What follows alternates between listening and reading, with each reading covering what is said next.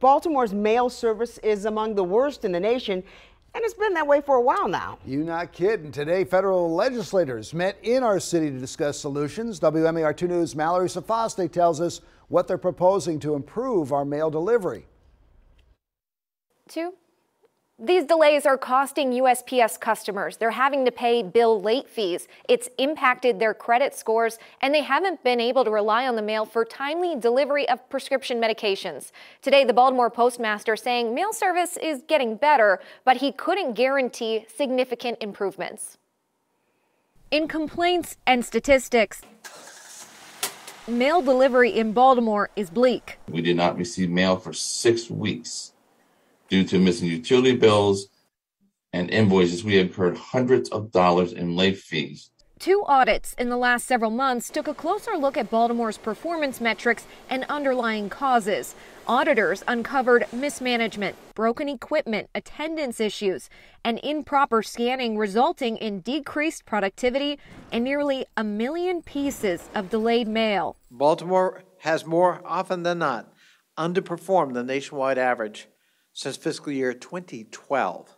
The Subcommittee on Government Operations held a field hearing at the University of Baltimore seeking an update from the Baltimore Postmaster on these issues. Can you guarantee, though, that there will, from this point onward, be a significant change in those numbers and in terms of the operation here in Baltimore?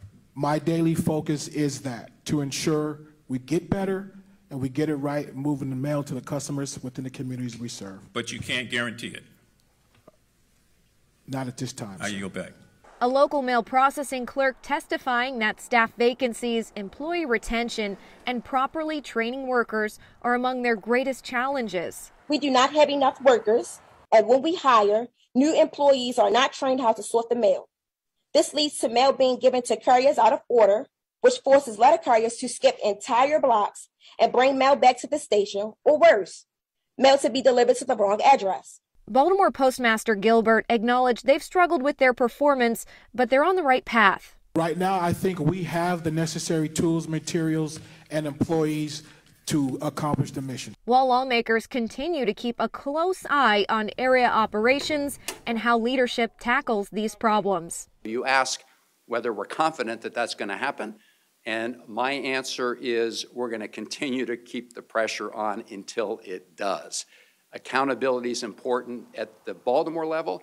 It's important at the federal level. The Maryland federal delegation also wants to see a change in leadership at the top. They want Postmaster DeJoy gone.